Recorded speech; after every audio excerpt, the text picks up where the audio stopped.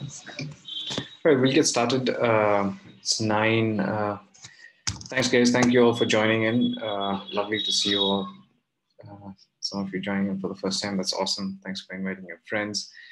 Uh, okay. All right, let's just pray and we'll get started. I'll hand it over to JP, who will lead us in a time of worship. Father, we thank you, Lord, for this uh, time, this awesome privilege that we have, that we can come into your presence, call you Abba, Father. Holy Spirit, come and have your way. We invite you to come and do what you do best. Minister to us as we minister to you, Lord. In Jesus' name, amen.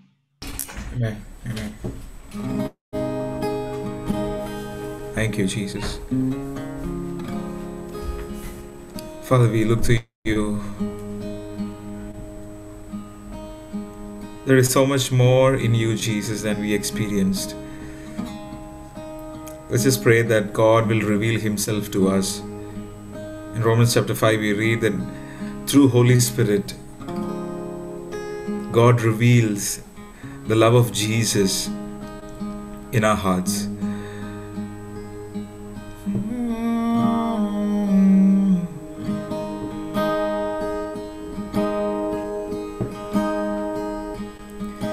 I can get enough. I can get enough. Your amazing love.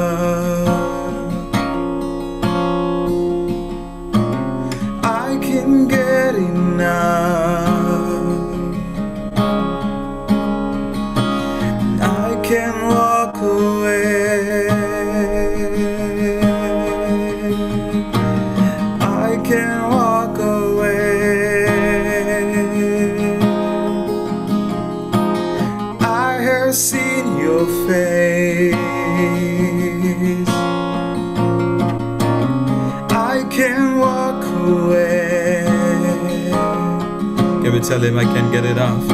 And I can get enough. I can get enough.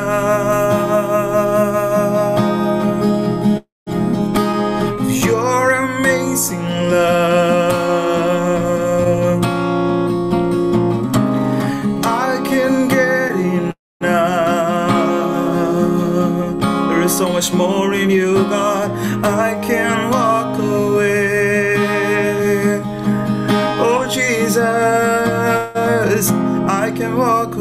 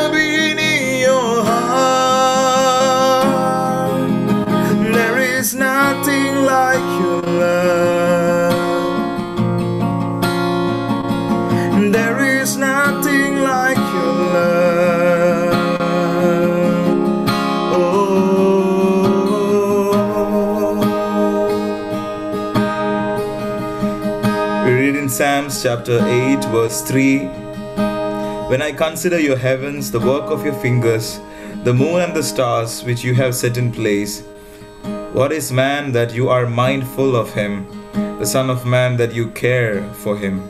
And we think about how much beautiful the creation of God is, and look at us, and He has each one of us in His mind. The beauty of Christian life is it's not just a life that we walk not knowing where is the end, not knowing what step to take next. The beauty of Christian life is knowing that there is a God who loves us. There is a God who loves us beyond measures. There is no limit to His love. Tonight, even as we are in His presence, let us pray that God help us to understand how much you love us and help us to love you more, God.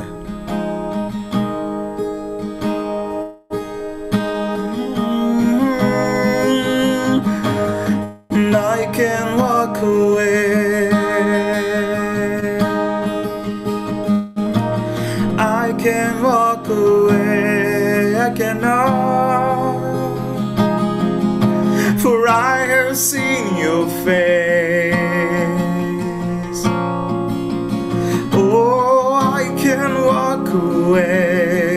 Tonight. I cannot walk, oh God. I can walk away.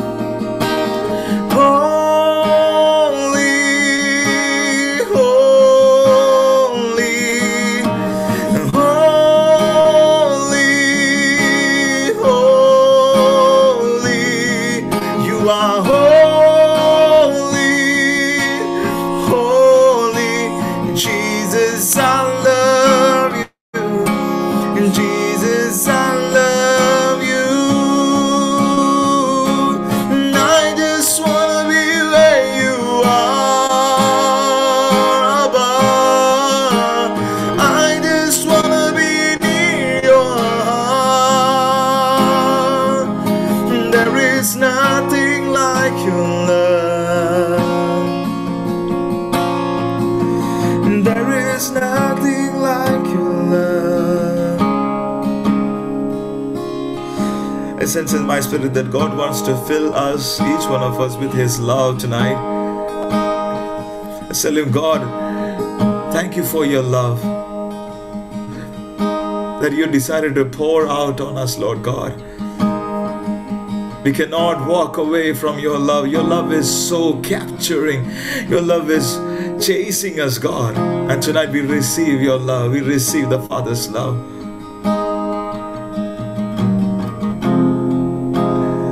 Receive the Father's love. And we delight in your love, Jesus.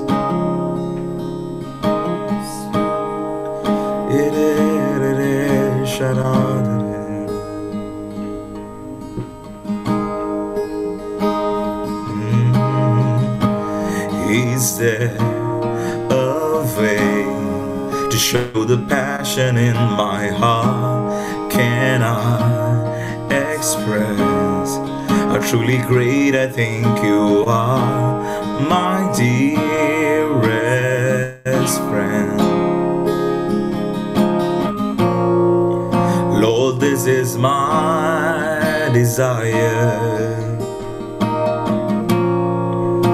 to pour my love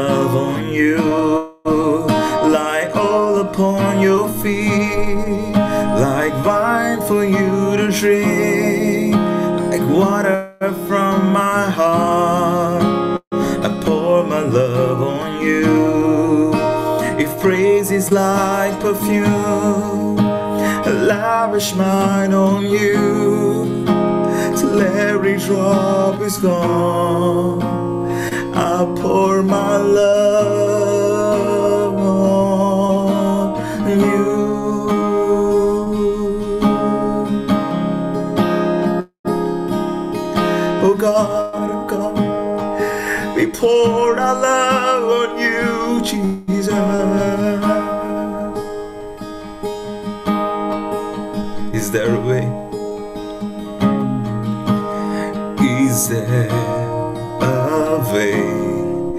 show the passion in my heart? Can I express how truly great I think you are, my dearest friend? Lord, this is my desire to pour my love on you like oil upon your feet, like wine for you to drink, like water from my heart. Pour my love on you. Your praise is like perfume. I lavish mine on you till every drop is gone. I pour my love upon your feet, like wine for you to drink, my king, like water from my heart. I'll pour my love on you. If praise is like perfume, I'll lavish mine on you till every drop is gone. I'll pour my love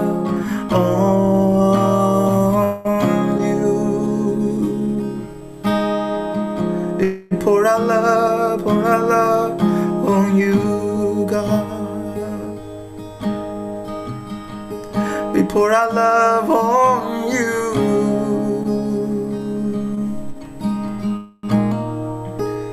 We pour our love on you.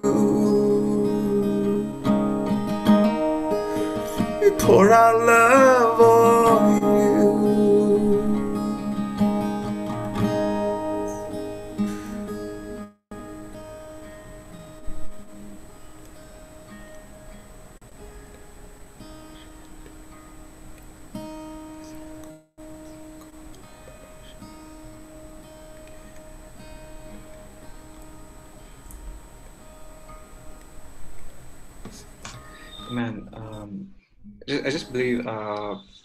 as we were worshiping, there's a couple of scriptures uh,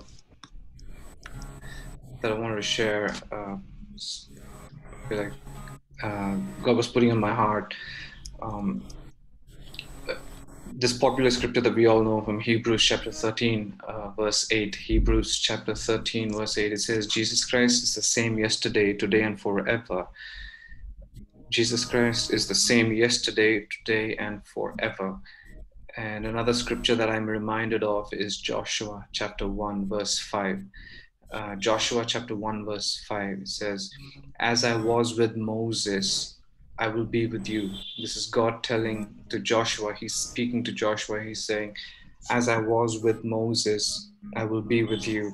I just feel like uh, to, that to some of us in, in the middle of, in the midst of transition, um, uh, in the midst of transition, this, uh, this Joshua chapter 1, verse 5 is where the nation of Israel is, uh, they are in a huge transition uh, geographically uh, and mentally. Everything is just changing. Everything is changing. And moses their leader for so many years had just passed away. Um, And so there's this sense of panic in the camp, and Joshua, the new leader, doesn't really know what to do. But everything is changing, but the only constant, the only constant is Jesus. He says, As I was with Moses, I will be with you. Because Hebrews 13 8 says, Jesus Christ is the same yesterday, today, and forever. And uh, I just feel like the Lord wanted to encourage uh, someone, some of you, uh, in the midst of the transition. The situations change, your circumstances will change, everything in your life will change, but my worth doesn't change. I am always constant, says the Lord. Um, is there anything too hard for me? I will never leave you nor forsake you. Hebrews 13, verse 5, it says that I will never leave you nor forsake you. He's called, and he's actually the writer of the book of Hebrews is quoting from Deuteronomy. And that's the promise we, as the people of God, have in our lives today. And that is the hope that we have. That that is the hope that we cling on to, that He will never, okay, He, Jesus, will never leave you, he will nor forsake you. Because he is the same yesterday, today, and forever.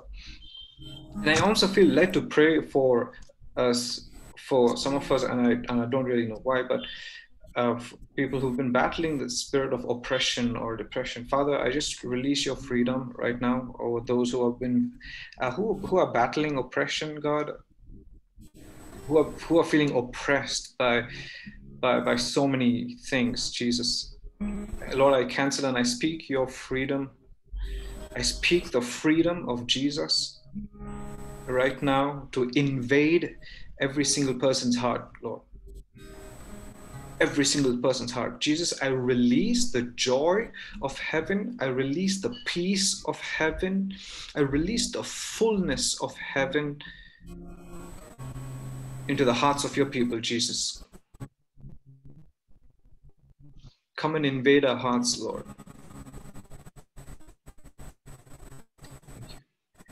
Thank you Father. Thank you, Jesus. Thank you, Lord. I also sense um, there's uh, there's a season of supernatural provision sorry if my internet is unstable. Uh, I just feel like there's going to be a season of uh, supernatural provision. Um, I, want to release and say, the God who provided manna and quail in the desert is able enough to provide for you in your wilderness. And so, thank you, Father, and I release that supernatural divine favor of provision over your people, Lord. Thank you, Father. Thank you, Lord. Thank you, Jesus. Thank you, Father. In Jesus' name I pray. Amen. Amen. Amen. And thank you, JP. Uh, thank you for leading us in a time of worship. Uh, thank you, everybody, for joining And Um, okay, just in case you're new, uh, I'm Roshan. Um, good to see you all. Thanks for joining in. Um, we're going to dive right into the word. Uh, our special pick for uh, tonight is is Does anybody want to give an introduction to this very special person that we have who's going to be bringing the word of God? Okay, this is all the way from the land of Vada we have Alicia who's going to be sharing the word. Come on. that's the best yeah. intro land of Rambo. no, I just had one. That's right. So, oh. But uh, over to you, Alicia. The floor is yours. The mic is yours. Go for it. Thank you, Rochelle. All right. Thank you, guys. And thank you for that time of prayer. Thank you for that worship, JP. It was amazing. So let me just share my screen. Uh,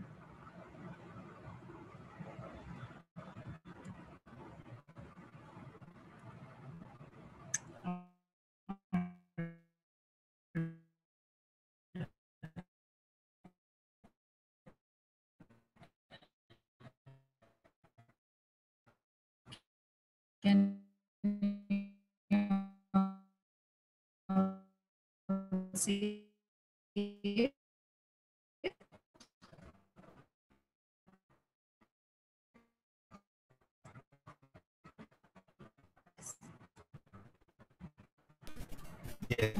Thank you. To your mind when you hear this statement, loving freely. Please type it in the chat. Tell me, guys. Oh, I'm figuring out how to see this chat. Okay. John 3:16. Okay. What else? What else? What else? Come on, tell me. All right, one more John 3:16. Okay. Loving freely. Anyone else? Come on, guys. I think that I had like 16 people there. Three people have replied. I'm gonna wait. He first loved us. Yes. What else? What else comes to your mind when you hear loving freely? One more person reply, and then I'll move. okay, free gifts. Okay, Matthew. So much Bible I don't know. What is in Matthew 22 37? But take care. All right. So uh, for me, the first thing that comes to my mind in love, in loving people, loving freely, is uh, that Jesus says, and my slide, okay, that Jesus says everything, and he says, love your neighbor as you love yourself, right? So he says, when uh, you love your neighbor as you love yourself, and there is this um, whole anthem in the church community that you know love god and love people and love god and love people which is all amazing you know? But uh, we also forget the other part about love your neighbor as you love yourself so uh, many times we can be kind to others and uh, you know we are very generous and very giving but when it comes to ourselves we're very harsh with ourselves we're very uh, unforgiving of ourselves so even when god forgives us it takes us another week to even forgive ourselves many times so um I was just meditating on this portion of scripture that, you know, uh, we talk a lot about loving our neighbors and loving other people. Why does scripture in the commandment itself say, love your neighbor as you love yourself? So, uh, what I've understood over time is we can only extend the same amount of love uh, to others that we give ourselves, right? So, if I treat myself with grace, and I'm not talking about, uh, so everything I say today uh, is going to be, you know, uh, slightly exaggerated because uh, all of this is very unconscious. So uh, say when i'm especially when i'm interacting with someone who's very close to me. So only with the same grace that i treat myself i can treat someone. So obviously i'm not going to be uh, crazy with a stranger but what about when it comes to my mother? Do i treat her with grace? Do i treat her with patience? So uh, if i am understanding if i'm treating myself with grace only then i can treat uh, the other person with grace. And uh, the second thing is uh, how I see myself is how I will see the other person, and we will get into the details of that. But a lot of there's a lot of this uh, uh, theory that you know a thief will always feel like the things are being stolen, or a person who lies will always feel that they are being lied to. Uh, so uh, the first step in loving uh, freely, I think, is. Um, my slides are not moving is understanding your significance okay so this is something we've heard a lot but let me illustrate okay so if someone has received a promotion in my office okay and uh, what is my first reaction? And we're on the same uh, level we've joined at the same time do the same kind of work. My first reaction is getting upset. All right so i get really mad and i could either get really mad at this person or just get generally upset about the whole situation or uh, you know i could feel just down in the dumps whatever. I get upset basically so uh, tell me in the chat and i want you all to think a bit about this why am i getting upset what is my thought behind me feeling upset so i know i'm feeling a certain way right i know i'm feeling upset but why am i feeling upset what is the thought behind that's causing me to be upset let's go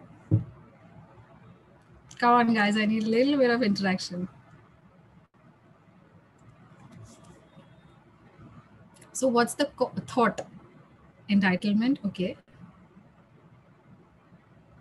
What else? Roshan, give me more. Nobody else is replying. Comparing, okay. okay, what else?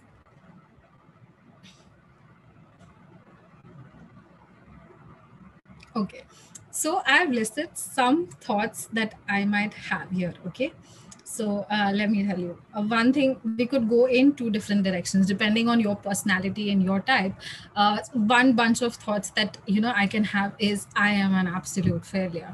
You know this person we're doing the same kind of work and maybe i'm not good enough or what is the point of even me doing this? Or you can go in the other direction and say but i deserve this better. You know they don't even deserve it. I do more work than them. And how come they're getting this?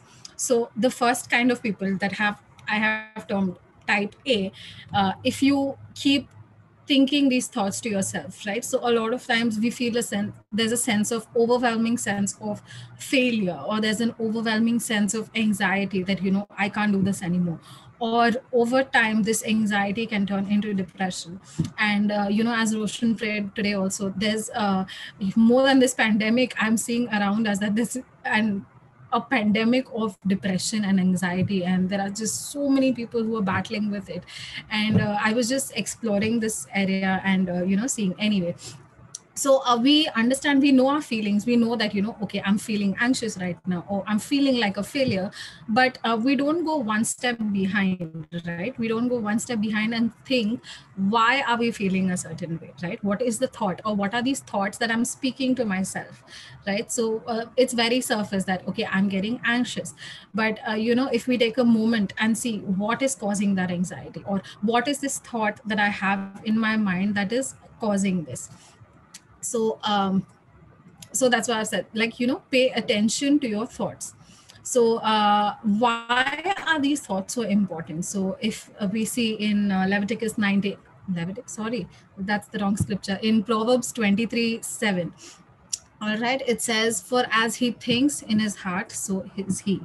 Right? And in luke 6 45 it says out of the abundance of the heart the mouth speaks right? So what i'm thinking what i'm feeling is eventually going to show in my actions right? So we're talking about loving freely. Now if i am feeling like a failure if i am feeling that uh, i'm thinking that you know i am not good enough or i am thinking the other person is not good enough to have deserved this it is going to reflect in my actions.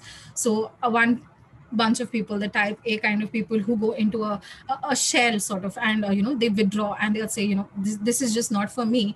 Uh, when i meet this person who's actually received a promotion next time i'm going to be intimidated by them. I'm going to have a, some sort of friction. I'm going to be like yeah good for you. And maybe on the surface i'll be say, i'll say you know yeah, yeah i'm totally happy for you uh, and the other kind of person the type b kind of person thinking that you know i deserve this more because i did more. Uh, next time when we uh, work with this person we're going to try to push ourselves ahead right? So uh, can someone read james 3.14 james 3.14 let me just put it in the chat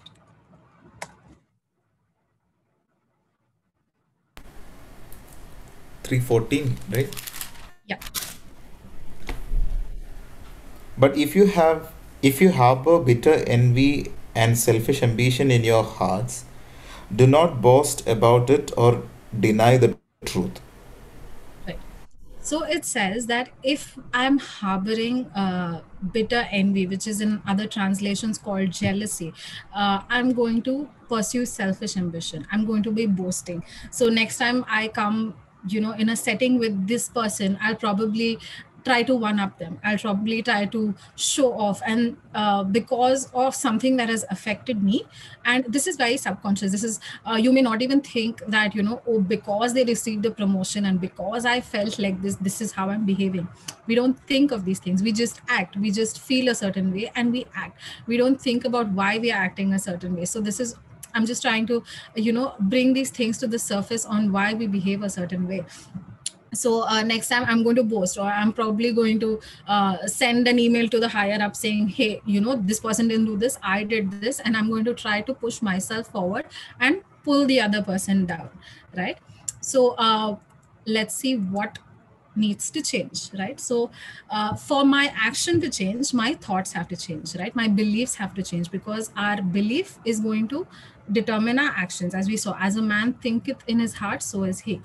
So if i'm placing why am i feeling you know that um, i'm not good enough? I feeling the sense of anxiety or i'm feeling the sense of pride and selfish ambition or whatever it is that i'm feeling why is this feeling coming? This comes because I said in the beginning, you know, our sense of significance is coming from receiving or not receiving that promotion, right? It's not wrong to receive that promotion. It's not uh, wrong to desire the promotion, and I'll get to that in a minute. But my sense of worth is coming from that job. Is coming from how uh, how I can move forward, how I can be better than someone else, right? So it's not only job. I've like the main things is like how well am i doing in my job how financially stable am i how well am i doing in ministry how uh, good is my family all these things uh, sort of in small ways you know in not very obvious ways add to my uh, self-worth. And i uh, attribute my significance my self-worth to these things. So when something goes wrong in that it's like my whole world comes crashing down right?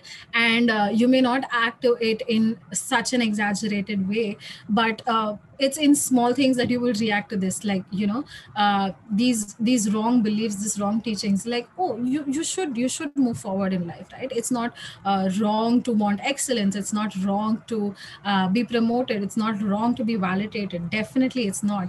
But when if, like you who you are is being anchored in that right if something goes wrong in that does your world shake? If something goes wrong to that can you still be loving to the person uh, to the other person right? So what beliefs need to change for me to understand uh, for me to put my significance in the right place? So even romans 12 2 says be transformed by the renewal of your mind. And what should i renew my mind with? Definitely scripture so when i am faced with such a situation the first thing i do is i do a lot of self introspection okay? So uh, when i am faced with that the first thing i do is okay god you know uh, where is my affection? Where is my uh, where are these thoughts coming from? If i'm anxious about something where are these thoughts coming from? Is what i try to figure. And you know nine out of ten times it says that you know god just says that you know your eyes are not fixed on me. Your worth is not coming from me. So uh, god says that my significance and purpose comes from living in christ. Your job your family your ministry is only a means to accomplish that purpose living for christ right? So your job may be there today it may not be there tomorrow. What happens after you retire? What happens if you lose the job? Uh, what happens if your family is not you know not being the way they should behave the way you are expecting to behave? So i just go back and i look at scripture on what god says about me so uh, when i look at scripture when i see that you know i am significant you know i have purpose in christ that he has created me for a purpose and my purpose is to love him is to live for him in everything i do. Whether it's job family ministry everything no matter what i do no, even if i'm not doing anything my purpose is to worship god. That is my purpose right? So nothing else can pollute that environment.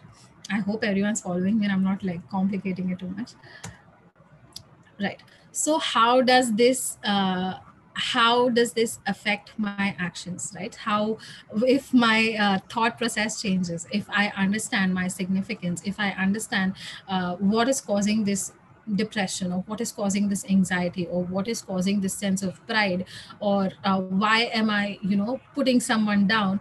And uh, like i said you may not even realize it at the time. Uh, when you understand all that your actions when you change your thoughts understanding that uh, your promotion is not a testament of your uh, ability or your capability. Your promotion is not a testament of uh, your purpose or your ultimate eternity in christ right? When i understand that uh, i can say okay god you know um, this did not happen but it's okay because i'm still loved i am still significant and then i can be genuinely happy for the other person right? I can celebrate their joy with them instead of sitting and withdrawing in a corner away from them right? I can be gracious. I can uh, the next time instead of uh, thinking at the back of my mind that you know now i need to push myself forward and i need to uh, everyone's running their own race first of all. You are in your own lane.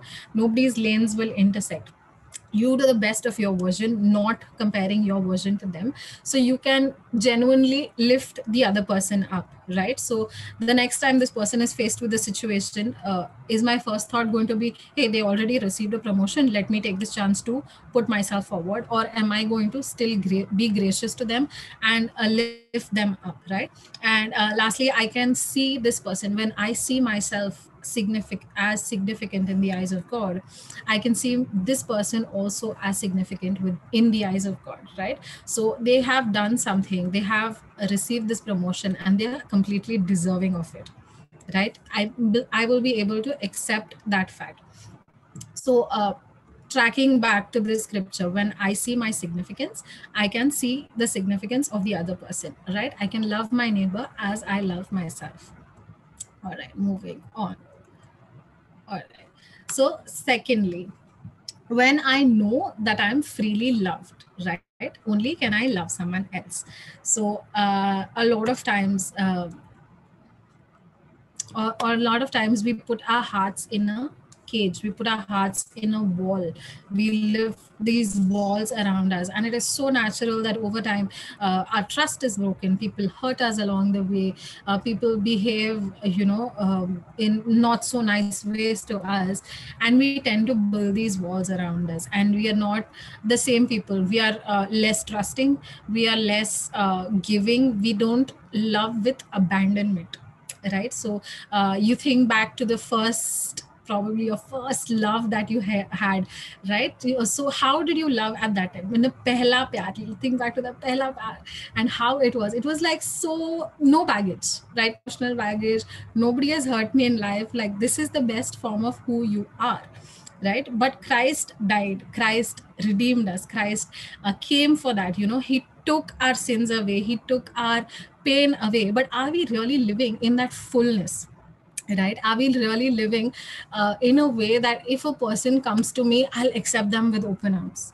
Can i really do that? But like no but there are bad people outside. Of course there are bad people outside. No but what if you know they treat me like a doormat or what if they hurt me? Of course they will hurt you. Even you know what if they reject me? So this sense of um, why we build this walls essentially is we fear rejection right and there is one more point that i can't remember. Right. We want to self protect we uh, we want to guard ourselves. We want to uh, put ourselves in these boundaries that you know this is your limit and whatever you want you say it from that side of the wall.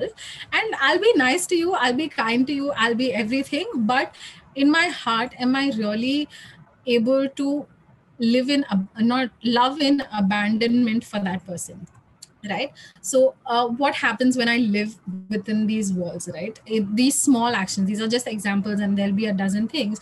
Uh, how often do we see someone uh, fully complimenting another person or talking with absolute kindness right? So like oh hey i love your hair or i love your smile or i love how you uh, talk or i love how you sing or I, whatever it is. Uh, how many times do we compliment another person right? We are afraid of how they will react. They'll think we are crazy you know? They'll think we're like fans of them or something. How can i allow myself to be in that place of vulnerability right? We don't want to put ourselves in that place of vulnerability. On the other side we want to act with uh, a lot of time we uh, we put ourselves in this uh, cocoon of friends right? We'll stick with our group because we know that there is safety in that place and we don't want to uh, act in full love. So like what if i talk to a stranger and they're not nice to me right? So before i came to christ i was a full introvert. Like i just wouldn't talk to anyone. I'm still an introvert but little better than i was before. And i would come to church and i would run. I was just so scared of talking to people. And all this is in hindsight now. But uh, when i accepted christ it was like a uh, you know like a light was flipped flipped on. And uh, i became automatically more uh, vulnerable automatically more uh, uh more talking to people more. I would talk to strangers all the time and i would love it. I was like okay this is amazing. Why did i not do this before? And i never knew what changed but i knew that i'm talking to people more. And i never understood why it changed. It just changed because i understood uh, the love of god in my life right so uh, when we understand that uh, god truly loves me right? And another person's rejection i will feel bad okay? Don't get me wrong. You will feel bad. You will be hurt. But another person's uh, rejection or another person's words is not going to break my world right? It's not going to put me like i said into a place of depression or it's not going to put me into a place of anxiety because when i am hurt i will take that pain and go to the cross right? Or when something affects me I will take that pain and go to the cross and come back as a person who loves loves in abandonment, and I will come back as a person who. Uh, as first love as a first love. And you know it's just this thought of first love when we come with no baggage with no uh, with a sense that you know if we love people as if we've never been hurt as if we don't know that bad exists in the world. And uh, some would say alicia that's a very unwise way to live I don't know, maybe it is. But, uh, you know, I'd rather be a person who uh, love people like Jesus loved them. And in the process, if I'm hurt a bit, if I am, uh, you know, uh, mistreated a bit it's okay it's okay but uh, and my point of this is uh, if you go to psalm 133 right? So it says uh, that how good and pleasant it is when God's people live together in unity. It is like precious oil poured on the head, right? So uh, the living in unity is equated to the anointing oil that was over Aaron and i've spent so much time on the scripture because i just couldn't fathom it. I was like god why are you equating unity to an anointing oil? He was set apart. It was aaron who was set apart as a priesthood. And uh, you know i propose that what sets us apart as this priesthood what keeps us uh, different from the rest of the world and you know keeps us different not even from the rest of the world but even from um, church crowd is our ability to love with abandonment our ability to love fully that when you walk into a room when you smile when you speak your love that you know that loving freely that abandonment with which you love is going to show. No matter what is in your heart is just going to show in your uh, not just in your actions but the, in the way you carry yourself in the way you relate to way talk to others. So if I walk around in my office and I'm just complimenting everyone, people are going to think I'm crazy, definitely. But that is how I want to love people. That is how I want, that is how I choose to be. Because Jesus always loved everyone he came across, right? And that is what set him apart. That is what, uh, you know, took him out. That is what that is why people turned and looked who is this man who is loving the prostitutes and the tax collectors and everyone alike? So uh, i propose that you know this loving freely when we live in wholeness and when we understand that our significance comes from jesus and our security and love comes from jesus and out of that place i can love someone uh, that is when we are a living breathing gospel. So yeah that is my word for today. Over to Roshan. Come on, let's hear it for Alicia, people. Show some love in the chat. Awesome, Alicia. Thank you so much. Um, hey, why don't you just pray and uh, pray for us and uh, pray and close? Sure.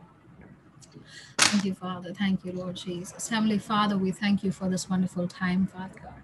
Lord, right now we commit each of us gathered here into your holy hands, oh Father God, as we heard, oh Father as we pray, oh Father God, I pray for each person present here, Lord. And Lord, we just release, Lord, a revelation of who they are in Christ, a revelation uh, that they are loved, Lord, a revelation that you are the same yesterday, today, and forever, Lord. A revelation that nothing can separate uh, us, Lord, from, from the love that you have for us, Father God. Lord, we, we set aside every hurt, every pain, Lord, everything uh, that has caused us so much anguish, Father, right now, Holy Spirit. We set it before the cross. God, we pray, Lord, that you would just take this pain, oh Father God, that you would teach us to forgive, Father, that you would teach us, Lord, to walk in wholeness, Lord, that you would teach us, Father, that you are our God, you are our Father, Lord Jesus, and you are always good, oh Father, that you are always with us, Father God. Lord, I just thank you for this group, oh Father God. I pray that you would teach us to love others with the same love that you have for us, oh Master. In Jesus' name I pray. Amen. Amen. Thank you so much, uh, Alicia, for that uh, for that word again. Um, everybody else, thank you uh, for joining us. Um, I hope you. I'm sure you had a blessed time. Um, okay, we'll uh, we'll continue with our weekly uh, youth meetings uh, every Friday at 9 p.m. Um, and we, will share the details, the call details, and you can feel free to invite your friends and uh, yeah, whatnot. That's about it. So, good night. Thank you once again for joining. Bye. Thank you, Alicia. Thank you so much.